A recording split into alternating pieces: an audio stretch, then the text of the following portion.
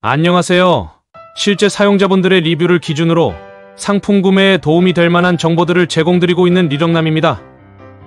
장단점 중심으로 짧게 정리했습니다.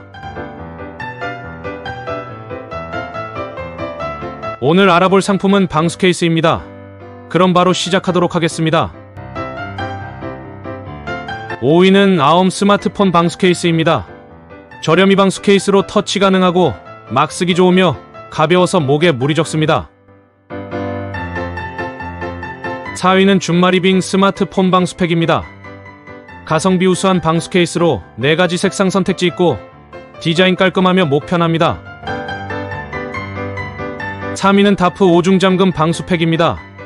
5중 잠금으로 방수 능력 우수한 케이스로 사이즈 넉넉하고 화질 우수하며 5중 잠금입니다. 2위는 로렌텍 스마트폰 방수 힙색입니다.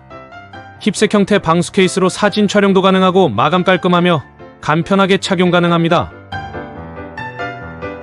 1위는 신지모루 스마트폰 방수팩입니다.